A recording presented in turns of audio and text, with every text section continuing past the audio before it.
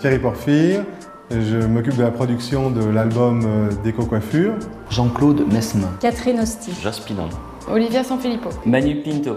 Euh, pour cela, nous avons réuni euh, l'équipe, une partie de l'équipe qui avait, avec laquelle nous avions fait la, le premier album Éco Coiffure automne-hiver. Photographe, vidéaste, je fais de la beauté. Styliste. Coiffeur. Maquilleuse. Réalisateur. Euh, nous avons en coiffeur, nous avons trois coiffeurs cette fois-ci. Un qui vient du Mans, du salon Pierrick G. Donc c'est Pierrick G en, en, personne qui est venu nous, nous aider. Élise qui vient de la banlieue parisienne, qui vient du salon Caractère. Et pour finir, euh, Joss Pilon, qui, donc, euh, euh, qui était déjà présent sur le dernier album et qui, qui clôture la production de, de l'album Printemps-été 2011. Paris. Lyon. Metz. Cannes. Bruxelles. Le photographe, c'est un, un, nouveau venu dans l'équipe. Euh, qui il s'appelle Jean-Claude Nesmin, il a déjà travaillé pour le monde de la coiffure.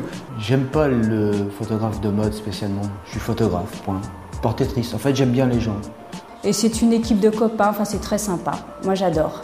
Voilà, la transformation euh, des modèles. J'ai adoré le travail d'équipe.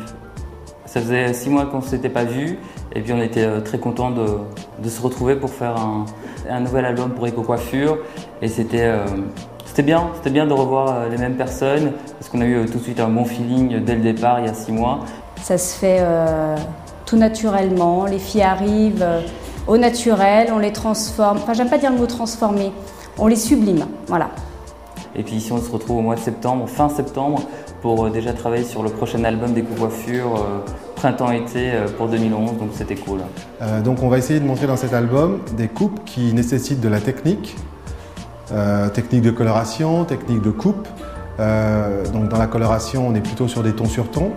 Euh, donc plutôt, on, a laissé, on a, on a abandonné les mèches un peu trop marquées et pour revenir sur des, sur des colorations plus naturelles, sur des tons plus discrets. Et donc ça, c'est notre premier axe.